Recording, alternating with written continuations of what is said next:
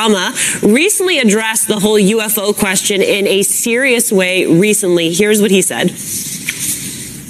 Uh, there's footage and records of objects in the skies that we don't know exactly what they are. We can't explain uh, how they moved, their trajectory, so, Jeremy, help give a little context to this. Why is it actually a pretty big deal that the government and the Department of Defense seemingly can't explain what these objects are, but are finally willing to talk about them? Yeah, it, it's a sea change. It's a really interesting moment in American history where our government and intelligence agencies are addressing what's right in front of us, which is the, the presence of UFOs on planet Earth. Every president has been talking about this. Jimmy Kimmel is great, by the way. He does ask the hard questions. And even President George W. Bush was shown the, the first piece of uh, imagery that I put out about a month ago, the, the pyramid shaped UFOs. So now there's this openness to discussing we, we might not know what they are, but we know what they're not. And when you're looking at this FLIR, forward looking infrared footage, you see it's a spherical object. There's no plumes, no exhaust, no traditional propulsion that you could see in the thermal realm. So let's talk about just sort of the realm of possibilities because I, I think it's important that it's, you know, we, we, were joking about, about aliens and that, that certainly is the possibility that there's a connection to extraterrestrial life. But there are also, you know, possibilities like this being technology that is being worked on covertly. Well, let's talk about that. So, just to give your audience a basic understanding, the U.S. Navy photographed and filmed pyramid shaped UFOs and spherical advanced transmedium vehicles swarming our Navy warships.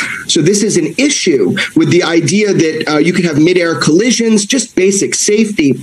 So, I obtained and released that footage with my mentor in journalism, George Knapp, and all of this was unclassified, but it was directly confirmed by the Pentagon, which is really cool. So they're starting to talk about this. These are true unknowns. We don't know if this is from an adversarial foreign nation. We were pretty sure that it's not uh, black budget programs within the United States because nobody that runs those knows what this is.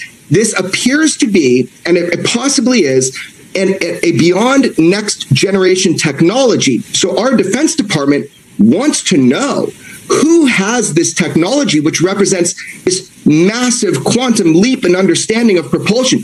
Who has it? What is their intent? Who's operating these vehicles? And so that's where we're at.